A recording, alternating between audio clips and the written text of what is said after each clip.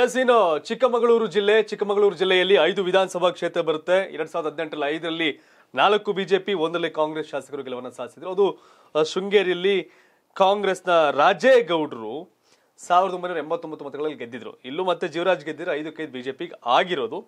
So ಈ ಇನ್ನು clean sweep ಆಗಿಲ್ಲ ಇವತ್ತಿನವರೆಗೂ ಕ್ಷೇತ್ರಗಳು. ಕ್ಲೀನ್ ಸ್ವೀಪ್ ಆಗಿಲ್ಲ. ಎಂಟರಲ್ಲೂ ಕೂಡ ನಾಲ್ಕು ಬಿಜೆಪಿ, ಒಂದು ಕಾಂಗ್ರೆಸ್ ಇತ್ತು. ಆ ಸಂದರ್ಭದಲ್ಲಿ ಕಡೂರು ಕೃಷ್ಣಮೂರ್ತಿ ಕಾಂಗ್ರೆಸ್ನಿಂದ ಗೆದ್ದಿದ್ರು. ಸೊ ಹಾಗಾಗಿ ಬಿಜೆಪಿ ಹೈಯೆಸ್ಟ್ ಅಂದ್ರೆ ಈ ಕ್ಷೇತ್ರದ ಈ ಜಿಲ್ಲೆಯಲ್ಲಿ ನಾಲ್ಕನ್ನ ಗೆದ್ದಿದೆ. ಇನ್ನು ಕರ್ನಾಟಕ ಟಿವಿ ಅಕ್ಟೋಬರ್ ಸರ್ವೆಯಲ್ಲಿ ಮೂರು ಬಿಜೆಪಿ ಒಂದು ಕಾಂಗ್ರೆಸ್, ಒಂದು ಜೆಡಿಎಸ್ ಮುನ್ನಡೆಯನ್ನು ಸಾಧಿಸಿತ್ತು. ಬಟ್ ನವೆಂಬರ್ ಕತೆ ಏನು ಅಂತ ನೋಡೋದಾದ್ರೆ, ಮೊದಲನೇದಾಗಿ ಶೃಂಗೇರಿ ವಿಧಾನಸಭಾ ಕ್ಷೇತ್ರ, ಶೃಂಗೇರಿ ವಿಧಾನಸಭಾ ಕ್ಷೇತ್ರದಲ್ಲಿ ಸದ್ಯಕ್ಕೆ ಕಾಂಗ್ರೆಸ್ನ ರಾಜೇಗೌಡರು ಕಾಂಗ್ರೆಸ್ ಶಾಸಕರು ಬಿಜೆಪಿಯ ಜೀವರಾಜ್, ಇಲ್ಲಿ ಬಿಜೆಪಿಯ ಮಾಜಿ ಶಾಸಕರು ಇಬ್ರು ಕೂಡ ಮುಂದೆ ಫೈಟ್ ಮಾಡ್ಲಿಕ್ಕೆ ರೆಡಿ ಇದ್ದಾರೆ. ಕಳೆದ ಬಾರಿ ಒಂದು ಸ್ವಲ್ಪ ಹಿಂದೂ ಸಂಘಟನೆಗಳ ಜೊತೆ ತಿಕ್ಕಾಟ ನಾನು ಗೆಲ್ತಾ ಇದ್ದೀನಿ, ಮತ್ತೆ ಗೆಲ್ತೀನಿ ಅನ್ನೋ ಒಂದು ಸ್ವಲ್ಪ ಕಾನ್ಫಿಡೆನ್ಸ್ ಜೀವರಾಜ್ ಅವ್ರನ್ನ ಸೋಲಿ ತಬ್, ತಳ್ತು. ಸೊ ಈ ಬಾರಿ ರಾಜೇಗೌಡ ವರ್ಸಸ್ ಜೀವರಾಜ್ ನಡುವೆ ಹಣಾಹಣಿ. ಜೊತೆಗೆ ಜೆ ಡಿ ಎಸ್ ಇಂದ ಸುಧಾಕರ್ ಶೆಟ್ಟರ್ ಇದ್ದಾರೆ.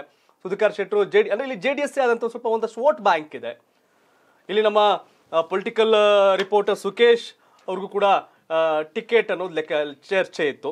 ಸೊ ಅವರು ಈ ಚುನಾವಣೆ ಬೇಡ ಅನ್ಕೊಂಡು ಈ ಚುನಾವಣೆ ಸುಧಾಕರ್ ಶೆಟ್ಟರ್ಗೆ ಬೇಡ, ಅವರೇ ಚುನಾವಣೆ ಮಾಡ್ಲಿ ಅಂತ ಸುಮ್ಮನವ್ರೆ ಸೊ ಇಲ್ಲಿ ಬಿಜೆಪಿ ವರ್ಸಸ್ ಕಾಂಗ್ರೆಸ್ ನಡುವೆ ಹಣಾಹಣಿ ಈ ಬಾರಿ ಹೌದು. ಕರ್ನಾಟಕ ಟಿವಿ ಸರ್ವೆಯಲ್ಲಿ ಹೌದು. ಜೀವರಾಜ್ ಮುನ್ನಡೆನ ಕಾಯ್ದುಕೊಂಡಿದ್ದಾರೆ. ಖಂಡಿತ. ಅಂದ್ರೆ ಕಳೆದ ಬಾರಿ ಕೂಡ ಅವ್ರೇನೋ ತುಂಬಾ ಲೀಡಲ್ಲಿ ಏನು ಗೆದ್ದಿರಲಿಲ್ಲ. ಅರವತ್ತೆರಡು ಸಾವಿರ ಓಟನ್ನ ತಗೊಂಡಿದ್ರು. ಮತ್ತೊಂದ್ ಕಡೆ ಜೀವರಾಜ್ ಅವ್ರು ಸೋತಿದ್ದು ಬರೀ ಅರವತ್ ಸಾವಿರದ ಏಳ್ನೂರು ಮತಗಳು ಸಾವಿರದ ಒಂಬೈನೂರ ಎಂಬತ್ತೊಂದು ಮತಗಳು ಸೋತ್ರು. ಅದು ಹೇಳಿದ್ವಲ್ಲ? ಹೌದು. ನಾನು ಗೆಲ್ತಾ ಇದ್ದೀನಿ ಮತ್ತೆ ಗೆಲ್ತೀನಿ ಇಲ್ಲಿ ಹಿಂದುತ್ವದ ಮತ ಐತಿ ಅಂದ್ರೆ ಭ್ರಮೆ ಅವೆಲ್ಲ. ಹೌದು. ಹಿಂದುತ್ವದ ಕಾರ್ಯಕರ್ತರು ಸಹ ಕರೆಕ್ಟ್ ನೋಡ್ಸ್ಕೊಳ್ಳಿಲ್ಲ ಕ್ಯಾರೆ ಅನ್ಲಿಲ್ಲ ಅಂತಂದ್ರೆ ಇವ್ರನ್ನ ಯಾರು ಕೇರ್ ಮಾಡಲ್ಲ. ಹೌದು. ಸೊ ಈ ಬಾರಿ ಜೀವರಾಜ್ ಎಚ್ಚೆತ್ಕೊಂಡು ಕಾಣ್ತಿದೆ. ಹೌದು. ಎಲ್ಲದಕ್ಕೂ ಹೋಗ್ತಿರೋದು. ಅಂದ್ರೆ ಓ ಅಣ್ಣ ತಮ್ಮ ಅಕ್ಕ ತಂಗಿ ಅಪ್ಪ ಅನ್ಕೊಂಡಿದ್ರೆ ರಾಜಕಾರಣ ಅಂತ ಅರ್ಥ ಮಾಡ್ಕೊಂಡವ್ರೆ. ಸೊ ಜೀವರಾಜ್ ಕೆಲಸ ಮಾಡಿದ್ರು. ಹೌದು. ಕೆಲಸ ಮಾಡಿದ್ರು. ಸೊ ರಾಜೇಗೌಡರು ಕೂಡ ಸೌಮ್ಯ ಸ್ವಭಾವದ ರಾಜಕಾರಣಿ. ಹಂಗ್ ಅನ್ಬಿಟ್ಟು ಹದಿಮೂರಲ್ಲೇನು ಬಾರಿ ಅಂತ ಜೀವರಾಜ್ ಗೆದ್ದಿರಲಿಲ್ಲ. ಅಲ್ಲೂ ಕೂಡ ಆ ಸಂದರ್ಭದಲ್ಲಿ. ಸ್ವಲ್ಪ ಇದರಲ್ಲಿ ರಾಜೇಗೌಡರು ಸೋತಿದ್ರು ಆ ಸಂದರ್ಭದಲ್ಲಿ. ಖಂಡಿತ. ಸೊ ರಾಜೇಗೌಡರು ಹಾಗೂ ಜೀವರಾಜ್ ನಡುವೆ ಹಣ ಹಣಿಯಲ್ಲಿ ಜೆ ಡಿ ಎಸ್ ತನ್ನದೇ ಆದಂತ ಪ್ರಾಬಲ್ಯ ಇದೆ ಅದು ರಿಸಲ್ಟ್ ಚೇಂಜ್ ಮಾಡೋ ಕೆಪಾಸಿಟಿ ಇದೆ. ಹೌದು ಖಂಡಿತ. ಜೆ ಡಿ ಎಸ್ ಗೆಲ್ಲಲ್ಲ. ಹೌದು. ಬಿಜೆಪಿನ ಗೆಲ್ಲಿಸಬಹುದು ಸೋಲಿಸಬಹುದು ಅಂತ. ಬಟ್ ಅವ್ರ ಮೇಲೆ ಡಿಪೆಂಡ್ ಆಗೋದು ಅಂತ ಜೀವರಾಜ್ ಸ್ವಂತ ವರ್ಚಸ್ ಮೇಲೆ ಚುನಾ- ಚುನಾವಣೆ ಮಾಡಿ ಕೊಟ್ಟಿದ್ದಾರೆ ಬಟ್ ನಮ್ಮ ಕರ್ನಾಟಕ ಟಿವಿ ನವೆಂಬರ್ ಸರ್ವೆ ಪ್ರಕಾರ ಇಲ್ಲಿ ಬಿಜೆಪಿ ಮುನ್ನಡೆನ ಕಾಯ್ದುಕೊಂಡಿದೆ. ಇನ್ನ ಮೂಡಿಗೆರೆ ಕ್ಷೇತ್ರವನ್ನು ತಗೊಳ್ಳೋದಾದ್ರೆ ಎಂ ಪಿ ಕುಮಾರಸ್ವಾಮಿ ಅವರು ಎರಡು ಸಾವಿರದ ಎಂಟರಲ್ಲಿ ಬಿಜೆಪಿ ಗೆಲ್ತಾರೆ ಜೆ ಡಿ ಎಸ್ ಇಂದ ಬಿ ಬಿ ನಿಂಗಯ್ಯ ಅವರು ಎರಡು ಸಾವಿರದ ಹದಿಮೂರಲ್ಲಿ ಗೆಲ್ತಾರೆ ನಂತರ ಮತ್ತೆ ಎರಡು ಸಾವಿರದ ಹದಿನೆಂಟರಲ್ಲಿ ಎಂ ಪಿ ಕುಮಾರಸ್ವಾಮಿ ಬಿಜೆಪಿ ಗೆಲ್ತಾರೆ. ಪಾಪ ವಿಧಾನಸೌಧದ ಮುಂದೆ ನಿಂತ್ಕೊಂಡು ನಾನೇ ಶಾಸಕ ನಾನೇ ಶಾಸಕ ಅಂತ ಹೇಳ್ಕೊಳ್ಳೋ ಅಂತ ಅನಿವಾರ್ಯತೆ ಅವರಿಗೆ ಪಾಪ ಸಾಕಷ್ಟು. ಸೌಮ್ಯ ಸ್ವಭಾವದ ರಾಜಕಾರಣಿ ಆದರೂ ಕೂಡ ಒಂದಷ್ಟು ವಿವಾದಗಳು ಎಂ ಪಿ ಕುಮಾರಸ್ವಾಮಿ ಅವ್ರನ್ನ ಅಷ್ಟೇ ಯಾವ್ದೋ ಆನೆ ಗಲಾಟೆ ಸಂಬಂಧಪಟ್ಟಂಗೆ ಗ್ರಾಮಸ್ಥರು ಅವ್ರ ಮೇಲೆ ಅಲ್ಲೇ ಮಾಡಿದ್ರು. ಹೌದು ಹೌದು. ಅಂತ ಜೀಪ್ ಹತ್ತಿಸ್ಕೊಂಡಾಗ ಶರ್ಟ್ ಹರಿದಿರ್ಲಿಲ್ಲ. ಜೀಪ್ ಆಮೇಲೆ ವಿಡಿಯೋ ಮಾಡಿದಾಗ ಹೆಂಗ್ ಶರ್ಟ್ ಇರಿತ್ತು ಅಂತ ಕುಮಾರಸ್ವಾಮಿ ಅವರು ಪ್ರಶ್ನೆ ಮಾಡಿದ್ರು. ಹೌದು. ಸೊ ನಮ್ಮ ಎಚ್ ಡಿ ಕುಮಾರಸ್ವಾಮಿ ಅವರು. ಹೌದು. ಈ ಎಂ ಪಿ ಕುಮಾರಸ್ವಾಮಿ ಅವರು ಮತ್ತೆ ಬಿಜೆಪಿಯಿಂದ ಸ್ಪರ್ಧೆ ಮಾಡಲಿಕ್ಕೆ ರೆಡಿ ಆಗ್ತಿದ್ದಾರೆ ಒಂದು ಮತ್ತೊಂದಷ್ಟು ಆಕಾಂಕ್ಷಿಗಳಿದ್ದಾರೆ. ಕಾಂಗ್ರೆಸ್. ಇಂದ ನಯನಾ ಮೋಟ ಮತ್ತೆ ನಾಗರತ್ನ. ಹಾಗೆ ಜೆಡಿಎಸ್ ಇಂದ ಮಾಜಿ ಶಾಸಕ ಸಚಿವ ಬಿಬಿ ನಿಂಗಯ್ಯನವರು ಸ್ಪರ್ಧೆ ಮಾಡಲಿಕ್ಕೆ ರೆಡಿ ಆಗಿದ್ದಾರೆ. ಸೊ ಇಲ್ಲೇನು ಅಂತಾರೆ ಟ್ರಯಾಂಗಲ್ ಫೈಟ್ ಟ್ರಯಾಂಗಲ್ ಫೈಟ್ ಇಲ್ಲಿ ಹಳೆ ತಲೆಗಳು ಅಂತಂದ್ರೆ ಬಿಬಿ ನಿಂಗಯ್ಯನವರು. ಎಂ ಪಿ ಕುಮಾರಸ್ವಾಮಿ ಸ್ವಲ್ಪ ಸೀನಿಯರ್ ರಾಜಕಾರಣಿ. ನಯನ ನಯನಾ ಮೋಟ ಮಾತ್ರ ಹೊಸ ಫೇಸ್ ಆಗುತ್ತೆ. ಹೌದು. ಸೊ ಈ ಚರ್ಚೆ ಇದೆ. ಆದರೆ ಬಿಬಿ ನಿಂಗಯ್ಯನವರು ಕಳೆದ ಬಾರಿ ಮೂರನೇ ಪ್ಲೇಸ್ಗೆ ಹೋಗ್ಬಿಟ್ಟಿದ್ರು. ಹೌದು ಹೌದು. ಜಸ್ಟ್ ಬಿಬಿನ್ಗೆ ಇಪ್ಪತ್ತೆರಡು ಸಾವಿರ ಓಟ್ ಪಡೆದಿದ್ರು. ಮೋಟಮ್ಮ ನಲವತ್ತಾರು ಸಾವಿರ. ಐವತ್ತೆಂಟು ಸಾವಿರದಲ್ಲಿ ಎಂ ಪಿ ಕುಮಾರಸ್ವಾಮಿ ಓಟ್ ಪಡೆದಿದ್ರು. ಗೆದ್ರು ಐವತ್ತೆರಡು ಸಾವಿರ ಓಟ್ ಪಡೆದ್ರು. ಬಟ್ ಈ ಸಾರಿ ಇದನ್ನ ಮೀರಿ ಬಿಬಿ ನಿಂಗಯ್ಯನವರು ಕ್ಯಾಪ್ಚರ್ ಮಾಡ್ತಾರೆ ಅನ್ನೋದು ಒಂದು ಕೂಡ ಲೆಕ್ಕಾಚಾರಗಳು ಇದೆ. ಹೌದು. B B Ningaiah S M P Kumaraswamy ಹೆಂಗೆ ಅಂತಂದ್ರೆ ಗೆದ್ದೋಗೋದು. ಹಿಂದುತ್ವದಲ್ಲಿ ಬಿಜೆಪಿ ಅಲ್ಲಿ ತೇಲ್ ಗೆದ್ದೋಗೋದು. ಕ್ಷೇತ್ರಕ್ಕೂ ಸಹ ತಿರುಗಿ ನೋಡಲ್ಲ. ಹೌದು. ಇದು. ಅಂಡ್ ಮೋಟಮ್ಮ ಹಿಂದೆ ಗೆಲ್ಸಿದ್ವಿ ಅನ್ನೋ ಕಾರಣಕ್ಕೆ ನಯನ ಗೆಲ್ಸಬೇಕು ಗೆಲ್ಸ್ಬೇಕು ಅಂತೇನಿಲ್ಲ ಲೆಕ್ಕಾಚಾರ. ಸೊ ಅದೇನೋ ಡಿ ಕೆ ಶಿವಕುಮಾರ್ ಬಂದಾಗ ಒಂದು ಸ್ವಲ್ಪ ಆಚೆ ವ್ಯತ್ಯಾಸಗಳಾಗಿತ್ತು. ಈಗ ಡಿ ಕೆ ಶಿವಕುಮಾರ್ ನಯನ ಮಟ್ಟಮ್ಮ ಪರ ಲಾಬಿ ಅವು ಇವು ಅಂತೇನೋ ಚರ್ಚೆಗಳಿದೆ. ಆದರೆ ಜನರು ಯಾರ ಪರ ಲಾಬಿ ಮಾಡ್ತಾರೆ ಓಟ್ ಹಾಕ್ತಾರೆ ಅವರೇ ವಿಧಾನಸೌಧಕ್ಕೆ ಹೋಗೋದು. ಹೌದು. ಬಟ್ ಆಗ ನೋಡಿದಾಗ ಇದ್ಯಾವುದೋ ಅಲೆ ಪಲೆ ಗಿಲೆಗಿಂತ ನಾನು ಸ್ವಂತ ವರ್ಷಸ್ ಮೇಲೆ ಗೆಲ್ತೀನಿ ಅಂತ ಅನ್ನೋದು ಬಿಬಿ ನಿಂಗಯ್ಯನವರು ಇದು. ಸೊ ನಮ್ಮ ಕರ್ನಾಟಕ ಟಿವಿ ಸರ್ವೆ ಪ್ರಕಾರ ಕಳೆದ ತಿಂಗಳು ಕೂಡ ಅವ್ರದ್ದೇ ಇತ್ತು ಈ ತಿಂಗಳು ಕೂಡ ಬಿ ಬಿ ಬಿಬಿ ನಿಂಗಯ್ಯನವರು ಮೊನ್ನೆ ಕಾಯ್ದುಕೊಂಡಿದ್ದಾರೆ. ಇನ್ನು ಚಿಕ್ಕಮಗಳೂರು ಜಿಲ್ಲೆಯ ಚಿಕ್ಕಮಗಳೂರು ಕ್ಷೇತ್ರ. ಸಿ ಟಿ ರವಿ ಅವರ ಕ್ಷೇತ್ರ. ಸಿಟಿ. ರವಿ ಅವರ ಕ್ಷೇತ್ರ ಇದು? ಸಿ ಟಿ ರವಿ ಅವರು ಕಳೆದ ಬಾರಿ ಇಪ್ಪತ್ತಾರು ಸಾವಿರ ಮತಗಳ ಅಂತರದಲ್ಲಿ ಬಿ ಎಲ್ ಶಂಕರ್ ಅವರ ಆಪೋಸಿಟ್ ಗೆಲವನ್ನ ಸಾಧಿಸಿದ್ರು. ಎಪ್ಪತ್ತು ಸಾವಿರ ಒಟ್ಟು ಸಿ ಟಿ ರವಿ ಅವರು ಬಂದಿತ್ತು. ಹಾಗೆ ಅವರ ಪ್ರತಿಸ್ಪರ್ಧಿ ಬಿ ಎಲ್ ಶಂಕರ್ ಅವ್ರಿಗೂ ಇಪ್ಪತ್ತಾರು ಸಾವಿರ ಓಟಲ್ಲಿ ಅವರಿಗೆ ನಲವತ್ನಾಲ್ಕು ಸಾವಿರ ಓಟ್ ಪಡೆದಿದ್ರು. ಜೆ ಡಿ ಎಸ್ನ ಹರೀಶ್ ಮೂವತ್ತೆಂಟು ಸಾವಿರ ಪಡೆದಿದ್ರು. ಹಾಗೆ ನೋಡಿದ್ರೆ ಎರಡ್ ಸಾವಿರದ ಹದಿಮೂರರಲ್ಲಿ ಸಿ ಟಿ ರವಿ ಗೆದ್ದದ್ದು ಇಲ್ಲಿ ಹನ್ನೊಂದು ಸಾವಿರ ಲೀಡಲ್ಲಿ. ಅದು ಗಾಯತ್ರಿ ಶಾಂತೇಗೌಡರ ಅಪ್ಪೋಸಿಟ್ ಈ ಬಿ ಎಲ್ ಶಂಕರ್ಗಿಂತ ಗಾಯತ್ರಿ ಶಾಂತ್ರೇಗೌಡ ಪರವಾಗಿರ್ಲಿಲ್ಲ. ಒಳ್ಳೆ ಫೈಟ್ ಕೊಟ್ಟಿದ್ರು. ಹೌದು. ಸೊ ಲಾಸ್ಟ್ ಟೈಮ್ ಜೆಡಿಎಸ್ ಇಂದ ಹದಿನೆಂಟರಲ್ಲಿ ಜೆಡಿಎಸ್ ಸ್ವತಂತ್ರ ಹರೀಶ್ ಬಂದು ಕಾಂಗ್ರೆಸ್ ಸೇರ್ಕೊಂಡವ್ರೆ. ಗಾಯತ್ರಿ ಶಾಂತೇಗೌಡರು ಮತ್ತೆ ಬಿ ಎಚ್ ಹರೀಶ್ ನಡುವೆ ಟಿಕೆಟ್ಗಾಗಿ ಗಾಗಿ ನಡೀತಾ ಇದೆ. ಸಿಟಿ ರವಿ ಅವರು ಬಿಜೆಪಿಯಿಂದ ಸ್ಪರ್ಧೆ ಮಾಡ್ತಾರೆ ಈ ಕ್ಷಣಕ್ಕೆ. ಹೌದು. ನೋ ಚೇಂಜಸ್ ಹೌದು. ತಿಮ್ ಶೆಟ್ರು ಜೆಡಿಎಸ್ ಇಂದ ಕಂಟೆಸ್ಟ್ ಮಾಡ್ತಾರೆ. ಈಗಾಗಲೇ ಟಿಕೆಟ್ ಹೆಚ್ಚು ಕಮ್ಮಿ ಅನೌನ್ಸ್ ಮಾಡ್ಬಿಟ್ಟವ್ರೆ. ಗುಜರಾತ್ ಅಲ್ಲಿ ನೂರ್ ಸೀಟ್ ಅಲ್ಲಿ ಮೂವತ್ತಾರು ಜನಕ್ಕಿನ ಟಿಕೆಟ್ ಮಿಸ್ ಮಾಡಿದ್ರು ಬಿಜೆಪಿ ಅವರು. ಇಲ್ಲಿ ರವಿ ಅವ್ರಿಗೆ ಟಿಕೆಟ್ ಮಿಸ್ ಮಾಡಲ್ಲ. ರವಿಗಿನ್ನು ಪ್ರಮೋಷನ್ ಆಗೋ ಅವಕಾಶಗಳಿದೆ. ಖಂಡಿತ. ಸಿಟಿ ರವಿ ಅವರು ಸೆಂಟ್ರಲ್ ಮಿನಿಸ್ಟರ್ ಆಗ್ಬೋದು. ಹೌದು. ಸಿಟಿ ರವಿ ಅವರು ಸಿಎಂ ಆಗ್ಬೋದು. ಹೌದು. ಅಂದ್ರೆ ಈಗ ಅವರು ಮೇಲ್ ಮೇಲ್ಮಟ್ಟಕ್ಕೆ ಹೋಗ್ಬಿಟ್ಟವ್ರು ಈಗಾಗಲೇ ಸಿಟಿ ರವಿ ಅವರು. ಬಟ್ ಒಂದ್ ಚರ್ಚೆ ಇತ್ತು. ರಾಷ್ಟ್ರೀಯ ಪ್ರಧಾನ ಕಾರ್ಯದರ್ಶಿ ರಾಷ್ಟ್ರೀಯ ಜವಾಬ್ದಾರಿಗಳು ಪಕ್ಷದಲ್ಲಿ ಬೆಲೆ ಸಿಕ್ಕವಲ್ಲ. ಸೊ ಅಲ್ಲಿಗೇನೋ ಹೋಗ್ತಾರಾ ಅಂತ ಚರ್ಚೆ ಇದೆ. ಚರ್ಚೆ ಇದೆ. ಇದ್ರೆ ಲೋಕಸಭೆ ಕಳಿಸ್ತಾರೆ. ಇಲ್ಲ ಈ ಸಾಕು ನೆಕ್ಸ್ಟ್ ಒಕ್ಕಲಿಗರು ಫೇಸು ಈ ಡಿ ಕೆ ಶಿವಕುಮಾರ್ ಕುಮಾರಸ್ವಾಮಿ ಇನ್ನೂ ಒಂದು ಚುನಾವಣೆ ಮಾಡ್ತಾರೆ ಅವರು. ಹೌದು. ಆ ಚುನಾವಣೆಗೆ ಒಕ್ಕಲಿಗರು ರೆಡಿ ಮಾಡಬೇಕಲ್ಲ ಅನ್ನೋದಾದ್ರೆ ನೆಕ್ಸ್ಟ್ ಸಿದ್ದರಾಮಯ್ಯ ಅವ್ರದ್ದು ಇದೇ ಕಡೆ ಚುನಾವಣೆ. ಹೌದು. ಯಡಿಯೂರಪ್ಪ ಅವ್ರ ಚುನಾವಣೆ ಇಲ್ಲ. ಇಲ್ಲ. ಸಿದ್ದರಾಮಯ್ಯ ಅವ್ರದ್ದು ಕಡೆ ಚುನಾವಣೆ ಹಂಗೆ ಡಿ ಎಚ್ ಡಿ ಕೆದು ಒಂದಂತಕ್ಕೆ ಇರುತ್ತೆ. ಈ ಡಿ ಕೆ ಫೇಸ್ ಮಾಡ್ಬೇಕಾದ್ರೆ ಅಂತದೇ ಮೈಂಡ್ ಸೆಟ್ ಬೇಕು ಅಂದಾಗ ರವಿ ಅವ್ರನ್ನ ಉಳಿಸ್ಕೊಂಡು ಉಳಿಸ್ಕೊ ಹೌದು. ಸಿಎಂ ಮೆಟೀರಿಯಲ್ ಅಂತ ಫೋಕಸ್ ಮಾಡ್ಬೋದೇನೋ. ಹೌದು. ಬಿಫೋರ್ ಎಲೆಕ್ಷನ್ ಮಾಡಲ್ಲ after election C T Ravi ಮುಖ್ಯಮಂತ್ರಿ ಘೋಷಣೆ ಮಾಡಬಹುದೇನು ಮಾಡಬಹುದು ಖಂಡಿತ. ರವಿ ಅವ್ರ ಬಗ್ಗೆ ಹೇಳಿದಲ್ಲ ಆಚೆ ಈಚೆ ಒಂದಷ್ಟು ಆರೋಪಗಳು ಮಾಡ್ತಿರ್ತಾರೆ ನಡೀತಿರುತ್ತೆ. ಬಟ್ ಏನೇ ಆದ್ರೂ ಈ ಕ್ಷಣಕ್ಕೂ ಕೂಡ ಚಿಕ್ಕಮಗಳೂರು ಕ್ಷೇತ್ರದಲ್ಲಿ ಸಿಟಿ ರವಿ ಅವರು ಸಿಟಿ ರವಿ ಮುನ್ನಡೆ ಕರ್ನಾಟಕ ಟಿವಿಯ ಹೌದು ಅವರ ಟಫ್ ಫೈಟ್ ಕೊಡೋದೇ ಆದ್ರೆ ಅವರಿಗೆ ಗಾಯತ್ರಿ ಶಾಂತೇಗೌಡ. ಗಾಯತ್ರಿ ಶಾಂತೇಗೌಡರು ಅವರ ಅಳಿಗಿನ ಮನೆ ಮೇಲೆ ಬೇರೆ ಐಟಿ ಟಿ ರೇಡ್ ಆಗ್ಬಿಟ್ಟಿತ್ತು ಮೊನ್ನೆ. ಹೌದು ಆಗ ರವಿ ಅವ್ರ ಮನೆ ಮುಂದೆ ಪ್ರತಿಭಟನೆ ಮಾಡಿರ್ತಾರೆ ಚಿಕ್ಕಮಗಳೂರು ಏ ನೀವೇ ಮಾಡ್ಸಿರೋದು. ಏನ್ ಮಾಡೋದು?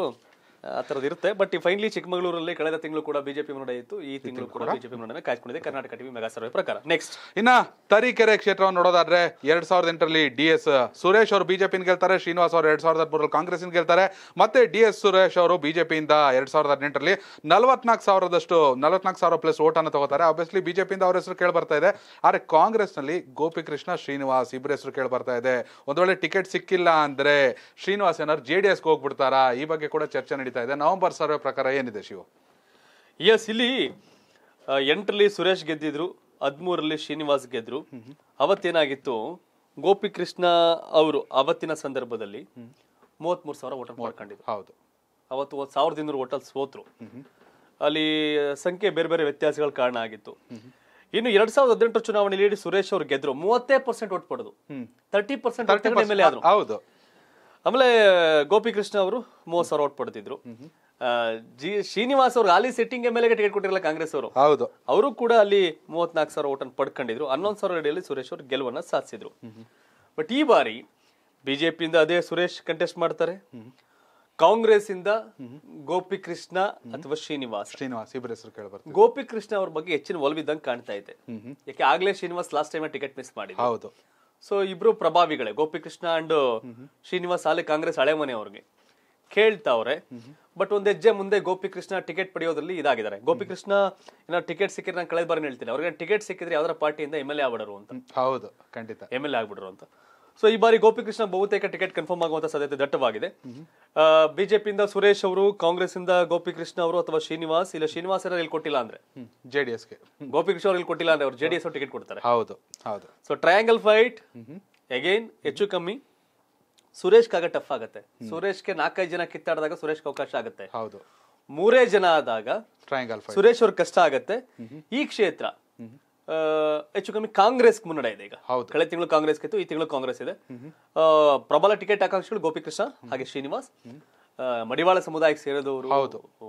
ಸತ್ ಮನೆಗೆಲ್ಲ ಯಾರ್ಯಾರು ಸತ್ರವ್ರ ಮನೆಗೆ ಹಣ ಇದು ಮಾಡೋದು ಆಂಬುಲೆನ್ಸ್ ಹಂಗೆ ಹಿಂಗೆ ಓಡಾಡಿ. ಅವ್ರಿಗೆ ಹಿನ್ನಡೆ ಅಂದ್ರೆ ಜಾತಿ. ಜಾತಿ. ಹೌದು. ಆದ್ರೆ ಆ ಜಾತಿ ಮೀರಿ ಗೋಪಿಕೃಷ್ಣ ನಮ್ಮವನು ಅನ್ನೋ ಭಾವನೆ ಕ್ರಿಯೇಟ್ ಮಾಡ್ಕೊಂಡವ್ರೆ. ಯಾಕೆ ನಾನು ಆಗ್ಲೇ ಹೇಳ್ತಿದ್ದೆ ಹುಣಸೂರು ಮಂಜುನಾಥ್ ಅವ್ರ ಜಾತಿ ಎರಡ್ ಸಾವಿರ ಓಟಿಲ್ಲ ಜನ ಓಟ್ ಹಾಕ್ತಾರೆ ಹಿಂಗೆಲ್ಲ ಇರ್ತಿತ್ತು. ಬಟ್ ನೋಡ್ಬೇಕು. ಗೋಪಿಕೃಷ್ಣ ಅವ್ರು ಬಹುತೇಕ ಟಿಕೆಟ್ ಫಿಕ್ಸ್ ಟಿಕೆಟ್ ಸಿಕ್ಬಿಟ್ರೆ ಯಪ್ಪ ಮನುಷ್ಯ ಎಲ್ಲ ಗೆಲ್ತು ಖಂಡಿತ ಖಂಡಿತ. ಜೆ ಡಿ ಎಸ್ ನಿಂತ್ಕೊಂಡ್ರು ಗೆಲ್ತಾರೆ ಕಾಂಗ್ರೆಸ್ ಕಾಂಗ್ರೆಸ್ ಗೆಲ್ತಾರೆ. ಬಟ್ ಬಹುತೇಕ ಕಾಂಗ್ರೆಸ್ ಟಿಕೆಟ್ ಆಗ್ಬೋದು ಅಂತ ಹೇಳ್ತಾವ್ರು ನೋಡೋಣ ಏನಾಗುತ್ತೆ ಅಂತ. ಹೌದು. ಇನ್ನು ಕಡೆ ಕ್ಷೇತ್ರ ಕಡೂರು ವಿಧಾನಸಭಾ ಕ್ಷೇತ್ರ. ಬೆಳ್ಳಿ ಪ್ರಕಾಶ್ ಅವರು ಇಲ್ಲಿ ಗೆದ್ದು ಗೆಲುವನ್ನು ಸಾಧಿಸಿದ್ರು. ಕಾಂಗ್ರೆಸ್ನ ಆನಂದ್ ಅವರ ವಿರುದ್ಧ. ಹೌದು. ಆ ಆನಂದ್ ಅವರು ಮತ್ತೆ ದತ್ತ ಅವ್ರ ವಿರುದ್ಧ ಗೆಲುವನ್ನ ಸಾಧಿಸಿದ್ರು. ಹೌದು. ಇಬ್ರು ಆ ದತ್ತ ಅವರು ನಲವತ್ತಾರು ಸಾವಿರ ಓಟ್ ತಗೊಂಡಿದ್ರು ಆನಂದ್ ಕೂಡ ನಲವತ್ತಾರು ಸಾವಿರ ಓಟ್ ತಗೊಂಡಿದ್ರು ಅರವತ್ತೆರಡು ಸಾವಿರ ಓಟ್ ತಗೊಂಡು ಬೆಳ್ಳಿ ಪ್ರಕಾಶ್ ಗೆದ್ರು. ಹೌದು. ಈ ಬಾರಿ ಬಿಜೆಪಿಯಿಂದ ಬೆಳ್ಳಿ ಪ್ರಕಾಶ್ ಕಾಂಗ್ರೆಸ್ ಇಂದ ಆನಂದ್ ಅಥವಾ ದತ್ತ ಜೆ ಡಿ ಎಸ್ ಇಂದ ದತ್ತ ಅಥವಾ ಮಹೇಶ್ ಒಡೆಯರ್? ಮಹೇಶ್ ಒಡೆಯರ್ ಹೌದು. ಕನ್ಫ್ಯೂಸ್ ಆಗ್ಬಿಡಿ. ದತ್ತ ಏನು ಅಲ್ಗೂ ಹೇಳ್ತೀರಿ ಎಲ್ಗೂ ಹೇಳ್ತೀರಿ ಹೌದು. ಅವರು ಕನ್ಫ್ಯೂಷನ್ ಅಲ್ಲಿ ಇದ್ದಾರೆ. ಹೌದು. ಕಾಂಗ್ರೆಸ್ ಹೋದ್ರು ಹೋಗ್ಬೋದು. ಅವರು ಕನ್ಫ್ಯೂಷನ್ ಅಲ್ಲಿ ಇದ್ದಾರೆ. ಬಟ್ ಆನಂದ್ ಹೇಳ್ತಾರೆ ನೆವರ್ ಎವರ್ ಟಿಕೆಟ್ ನನಗೆ ಅಂತ ಆನಂದ್ ಅವರು. ಅತ್ಲ ಕಡೆ ಬಿಜೆಪಿಯಲ್ಲಿ ಬೆಳ್ಳಿ ಪ್ರಕಾಶ್ ನನಗೆ ಅಂತವ್ರೆ. ಬಟ್ ಕನ್ಫ್ಯೂಷನ್ ಇರೋದು ಯಾರು ಅಂತಂದ್ರೆ ದತ್ತ ಮಹೇಶ್ ಒಡೆಯರ್. ಮಹೇಶ್ ಒಡೆಯರ್. ಮಹೇಶ್ ಯಡಿಯೂರ ದತ್ತ ಅಲ್ಲಿಗೆ ಹೋಗ್ತಾರ ಕೊಡ್ತಾರ ಅನ್ನೋ ಚರ್ಚೆ ಇವೆಲ್ಲ ನಡೀತಾ ಇದೆ. ಬಟ್ ಆನಂದ್ ಕಾನ್ಫಿಡೆನ್ಸ್ ಆಗಿದ್ದಾರೆ ಈ ಗ್ಯಾಪ್ ಅಲ್ಲಿ ಚೇತನ್ ಚೇತನ್ ಕೆಂಪರಾಜು ಅಂತ. ನನಗೆ ಅಂತ.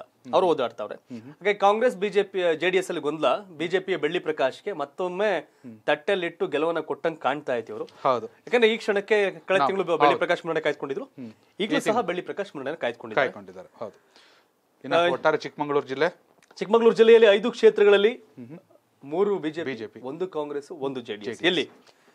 ಶೃಂಗೇರಿ ಚಿಕ್ಕಮಗಳೂರು ಮತ್ತೆ ಕಡೂರು ಬಿಜೆಪಿ ಮೂಡಿಗೆರೆ ಜೆಡಿಎಸ್ ಮತ್ತೆ ತರೀಕೆರೆಯಲ್ಲಿ ಕಾಂಗ್ರೆಸ್ ಮುನ್ನಡೆಯನ್ನ ಕಾಯ್ದುಕೊಂಡಿದೆ. ಫಲಿತಾಂಶ ಅಲ್ಲ ಇದು. ಇದು ಕರ್ನಾಟಕ ಟಿವಿಯ ನವೆಂಬರ್ ತಿಂಗಳ ಸರ್ವೆ. ಸರ್ವೆ. ಡಿಸೆಂಬರ್ಗೆ ಮತ್ತೆ ಚೇಂಜ್ ಆಗ್ಬೋದು ಜನವರಿಗೆ ಮತ್ತೆ ಚೇಂಜ್ ಆಗ್ಬೋದು ಖಂಡಿತ ಎಲೆಕ್ಷನ್ ವರೆಗೂ ಇದ್ದೇ ಇರುತ್ತೆ ಸರ್ವೆ. ಲಾಸ್ಟ್ ಹದಿನೈದು ದಿನದಲ್ಲಿ ಐದು ಕ್ಷೇತ್ರಗಳನ್ನ ಜನ ಹಿಂಗ್ ಮಕ್ಷ ಐದು ಕ್ಷೇತ್ರಗಳನ್ನ ಹಿಂಗ್ ಹಾಕ್ಬೋದು. ಹೌದು. ನಾನೇ ಪಾಳೆಗಾರ ನಾನೇ ಗೆಲ್ತೀನಿ ಅಂತ ಮೀಸೆ ತಿರ್ಕೊಂಡು ಎದೆ ತಟ್ಕೊಂಡು ಯಾರ ಕೈಲೂ ಹೇಳ್ಕೊಳಕ್ ಆಗಲ್ಲ ಸ್ವಲ್ಪ ರವಿ ಅವರ ವಿಚಾರದಲ್ಲ ಇದೆ.